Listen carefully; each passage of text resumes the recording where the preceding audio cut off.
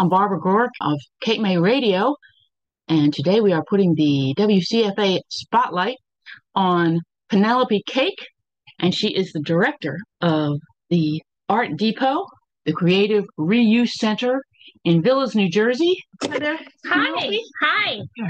Good to be here.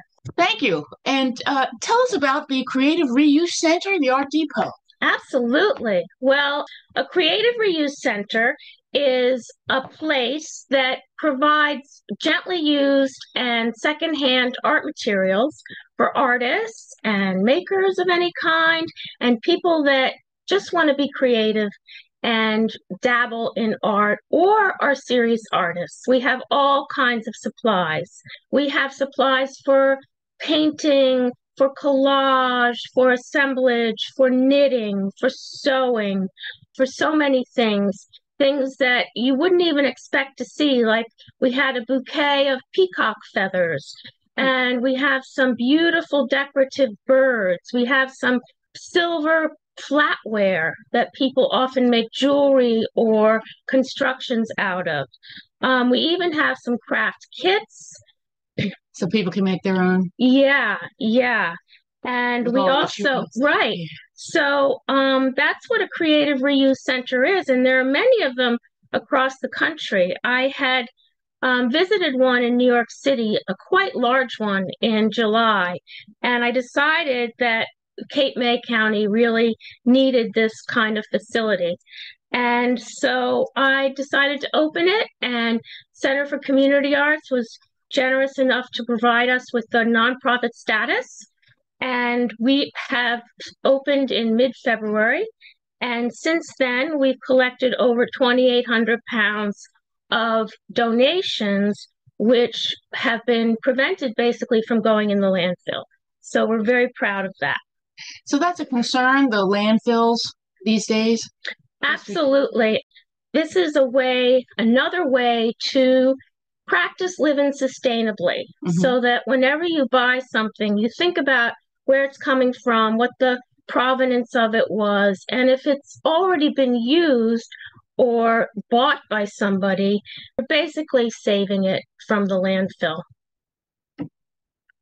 Yeah, and uh, I guess we're just trying to conserve space and preserve, uh, you know, conserve as far as greenhouse effect and all that. Absolutely, absolutely. It's yeah. a it's an in a total um environmental win-win situation. Great. Yeah and, you're an artist also. Yes, and I'm an artist. So you know what artists like. So you're you're the chief there. So you would you would know what artists want to. Uh, yeah. Think about. I do, and I include things that maybe I might not be that interested in, but other people would be interested in. My artwork consists of a lot of collage and assemblage. And so we have some beautiful paper ephemera, some old um, music scores from early 1900s that can be used in collage. We have some pieces of kind of rusty metal junk that can be used in assemblages.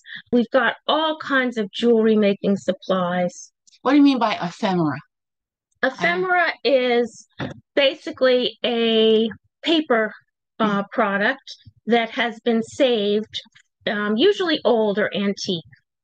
Okay. Mm-hmm. So the word ephemera just means something that isn't there for very long and then goes away. But so this is a particular use of that word. yeah, it's used for paper. papers, mm-hmm. Mm-hmm. old paper that has mm-hmm. been saved. Okay.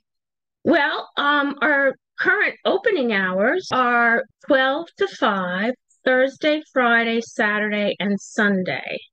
You can donate materials at that time and donations should consist of art materials that are usable in good condition. And we're happy to take donations during those open hours.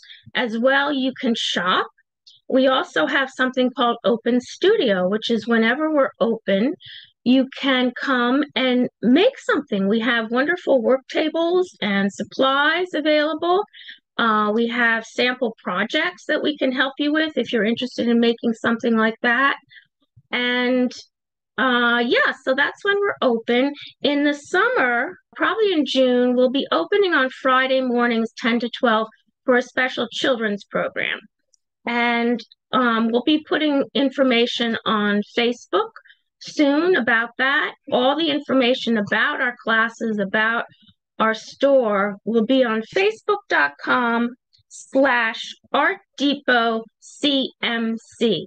The CMC stands for Cape May County, and that's important to put after Art Depot in both our email and in our Facebook page. So Art Depot CMC at gmail.com. That's the And- email, right? And then the Facebook is also Art Depot CMC. yes, yes. And then your uh, street address is 1301 Bayshore Road uh, at Unit 202. And that is the Bay Bayshore Villas or, or, uh, shopping center. What is the Uh, shopping center? Bayshore Plaza, okay. it's called. Yeah. And it's a, low white buildings. And you're at 202 in that little. Yeah, we have a big open flag in front of our storefront, Okay. um, which helps identify it.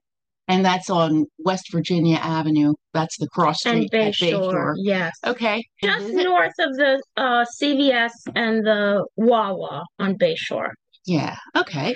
One thing is, if you're interested in volunteering, we can always use more volunteers. And that can involve processing donations, that can involve putting in some store hours.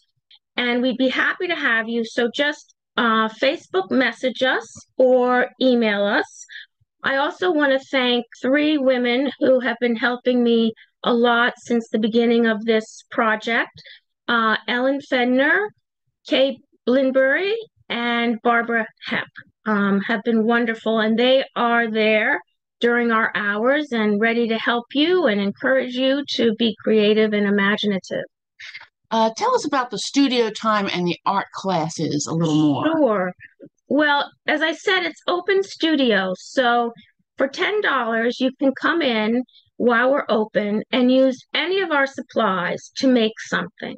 Make something of your choice or copy one of the things that we have made as samples for things you can make. If you don't feel like you have an idea, we have a lot of ideas for you.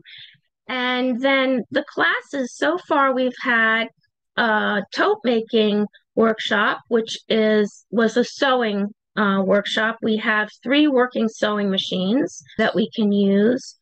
The other class was a bead uh, earring class um, taught by Ellen Fenner, who's quite a renowned jewelry artist in the area. And we had a exploding scrapbook class, which was Floating scrapbook.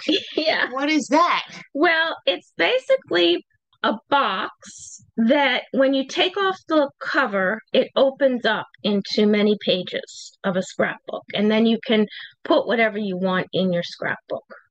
So that was really fun.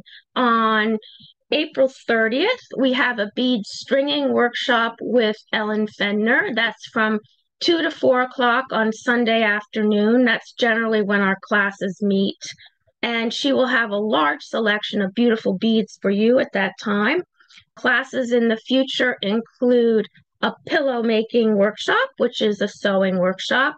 I'm going to be teaching a what's called a button collage workshop, um, where we take buttons and create images with them, such as a moon or a cat or a star or even a hedgehog or whatever you would like to create with your buttons. And I saw you have some of these pictures, uh, pictures of these results on, on your Facebook page. So if people want to uh, glance at what's possible Yes. over there Yes. to make, uh, you can look at the Facebook page uh, photos. Mm-hmm. Pretty neat. And your classes are for all ages. Uh, You have adult classes and kids Well, classes. Our regular classes are available for children and adults, but children over eight years old. Okay. So we can have mother and daughters come, sisters come. Okay. Um, you can make a date of it. Mother's Day is coming. Yep, Yeah. yep, yep. Okay. Yeah. Fun. I think this is a really important kind of institution to have anywhere, but I'm particularly happy to have it in Cape May County. And I think that it will provide a lot of people with creative possibilities, but also supplies that are really inexpensive.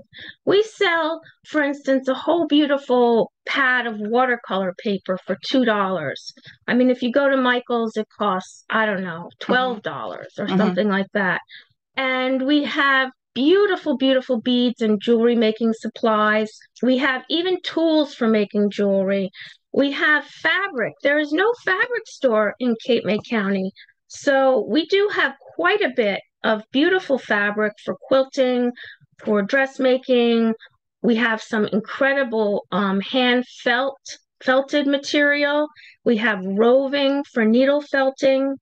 Uh, We have a lot of stuff, and it's very inexpensive. Yeah. So So I want to thank you for coming and talking with us, Penelope.